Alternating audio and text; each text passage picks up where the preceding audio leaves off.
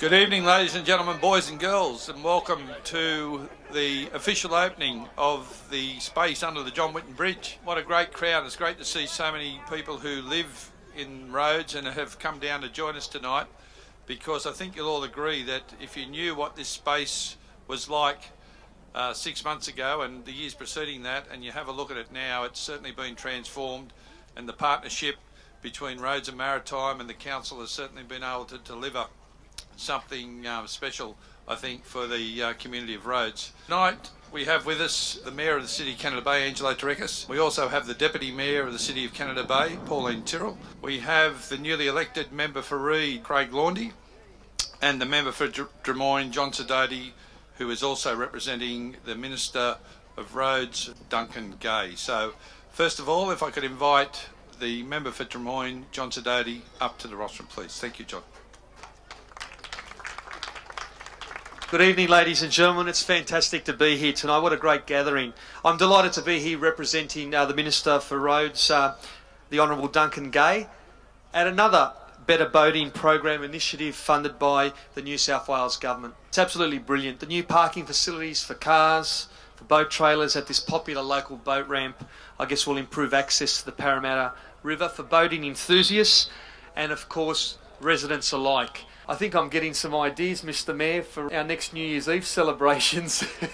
it's a great uh, public space here, which is fantastic. I'm glad that the New South Wales Government uh, has funded a project like this to the tune of about $153,000.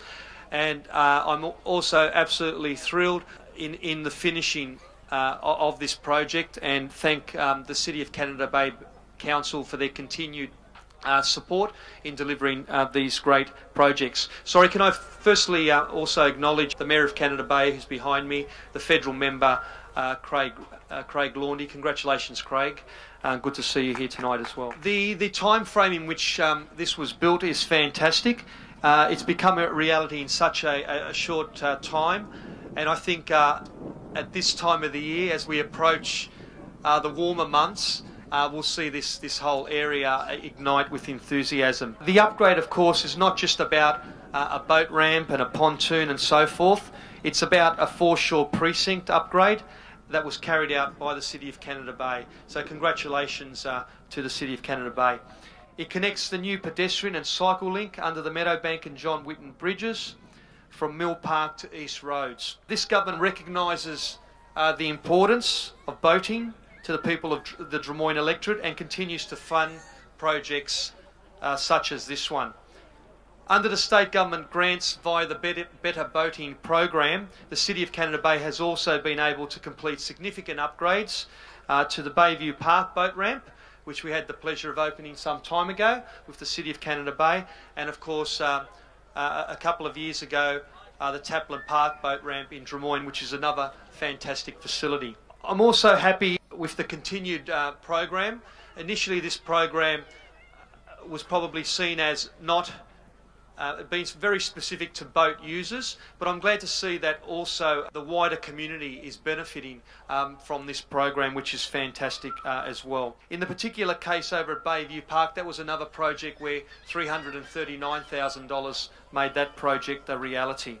So this project included repair and extension to the existing multi-lane boat ramp and the installation of a new modular uh, pontoon. Um, can I say in 2012-13, Roads and Maritime awarded over $4.45 million to local councils and boating groups for new and improved boating facilities. The waterways around the Drummoyne electorate are a key part uh, of the way uh, we live our lives in this beautiful part of Sydney. Uh, and over the past five years, the City of Canada Bay Council has benefited from a contribution of $2.13 million from the New South Wales Government in, its Better Boating program. So can I conclude uh, once again by um, thanking you all for being here this evening. I can see this area being a focal point, uh, very much used for the benefit of everybody. Congratulate the council, uh, all the residents here and hope uh, that um, we can continue on with funds like that that'll keep improving uh, the great area we all live in. Thank you. Thank you very much, John. Um, next speaker tonight is uh, the Mayor of City Canada Bay, Angelo Tsirekas. Could you please welcome Angelo?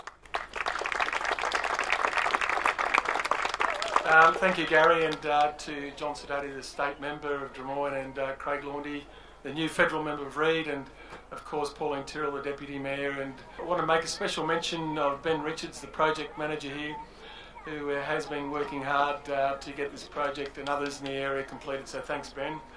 Um, it, it is a great opportunity to say hello to many new residents here tonight, to to our community, to people moving into Rhodes, to say that the council is committed to making sure that the future of Rhodes is is one that we look at improving the lifestyle, the the the, the opportunity for families to really enjoy this precinct. This is one great example of, of council working with the state government, with the boat ramp improvement, with the precinct under here, under the John Whitton Bridge and the underpass, and completing uh, a, a, project uh, that, that leads to others in the future. And uh, in a couple of weeks, we'll be having the community uh, project for the, the building of a community precinct on out on exhibition. It's a massive project, and I know that the uh, Rhodes Community Advisory Committee have been working very hard on that. So that is a huge project, and we see uh, the area here at Rhodes seeing develop into a, a, wonderful area for a lot of residents to really enjoy in the future. And I know tonight, with the food, the wine, the music, and just the, the the ambience around here is wonderful, and uh, it is truly amazing that uh, that we can all, you know, look back on these historical bridges that have been here for a long time, the John Whitton Bridge and uh, the Meadowbank Bridge, and, and, seeing it connect into the into our new area here at Rhodes, and it's, it's all about partnerships that uh, that John Sidoti spoke about. Tonight, of course, um, we are going to launch the, uh, lights, and I, I've been given the opportunity to to give the word in a moment, uh, which will will see the, the lighting up uh, under the bridge. But I, would like to uh, also thank uh, Gary Sawyer and the team on council, uh, and again the, the community here at Rhodes for participating. And I can see that this is going to grow into something bigger and better, and and certainly um, the, the, population growth um, here is just going to benefit from the, the, the what we're going to put into it. And I can say that from 207, when council took over the precinct from the state government, our minds were, were at where we can improve uh, open space, public access around the foreshore, cycleways, uh, and community precincts. And we haven't finished. And I can tell you we've got dedicated staff to make sure that your ideas and are developed and, and the future is, going to be a good one for the family again. So tonight, thank you for coming along and uh, being part of the opening here of the, the project under John Whitton Bridge. I'm now going to give the signal to, to Ben. Ben, have you got the signal? Okay, Ben, we want the lights on now. So with that, thank you for coming and I officially open the, the John Whitton Bridge project. Enjoy the rest of the evening and thanks for coming along again. Thank you.